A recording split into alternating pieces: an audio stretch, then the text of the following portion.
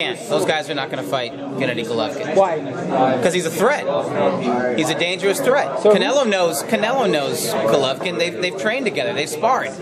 He, he's felt what Golovkin punches like with the big gloves on and headgear. He doesn't want to feel a 12 ounce glove, and he has his own plans. I mean, he's already fighting uh, a, a, a dangerous opponent in Austin Trout um, next month, and if he wins that, he wants to go for the mother load. He wants to go for the money load, which is Money Mayweather. I mean.